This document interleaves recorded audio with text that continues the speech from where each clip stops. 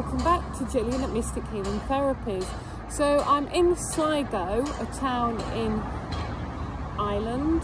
Um, my lovely friend Mark Atwood told me about this place and told me how satanic it was, so I thought I'd come and have a look myself.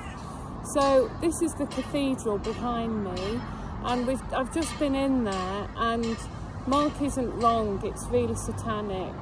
Um, so I tuned in and what I got was that underneath there was reptilians. There always seems to be a resident reptilian in these places and also the spiders are in there as well. It feels like there's an entrance to tunnels in this vicinity for sure.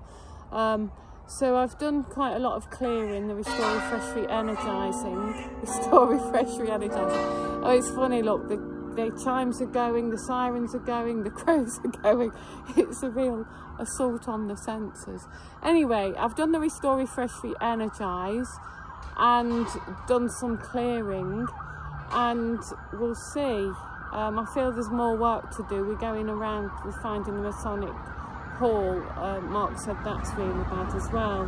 So if you look at the building, look, it's Tartarian in its structure, um, really Tartarian. So yeah, but yeah, really horrible, very repressive energy. And what I got was that there's still satanic rituals taking place underneath that there. Um, so we need to put a stop to that. I've opened the portals up and brought in my dragons and the higher galactics to help. Just while I'm here, this tree behind us, it's a really old tree.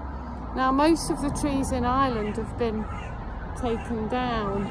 We were talking to a lovely Irish chap this morning and he was telling us that the English took all the trees down. Well, I pointed out to him it's the English Satanists, not the masses of England, you know, um, like, like everywhere. It's it's that one percent, isn't it, that have done that's done all the bad, and they pitch one set of people off against the other. And I think Ireland's had its fair share of that. Another reason they took all the trees is beauties like this one.